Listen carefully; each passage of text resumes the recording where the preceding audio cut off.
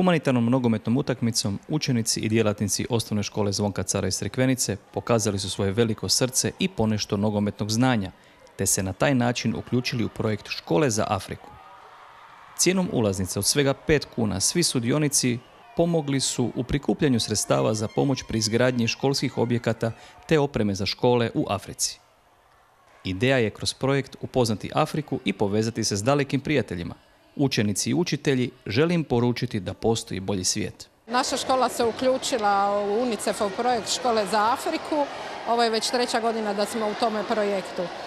Prve godine smo imali isto nogometnu utakmicu, ali ne sa učiteljima, nego učenici protiv učenika. Prošle godine smo imali kulturno-umjetnički program, odnosno jedno druženje škole popodne za Afriku, gdje smo animirali svu djecu i sve roditelje.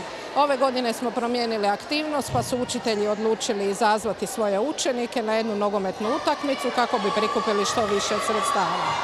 Sva sredstva biti će uplaćena za UNICEF, za državu Burkina Faso kako bi se tamo osiguralo djeci školovanje.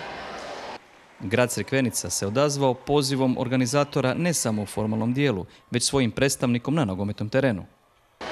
danas se mogli vidjeti pregršt virtuoznih poteza nogometnih od strane profesora osnovne škole Zvonka Cara i njihovih učenika u malom nogometu, a sve u cilju skupljanja sredstava u UNICEF-ovom programu Škola za Afriku Mislim da je hvale vrijedno da se već treću godinu unutar škole Zvonka Cara održava ovakva humanitarna akcija. Mi se uvijek rado odzazovemo. Začiniti dobro ne treba puno.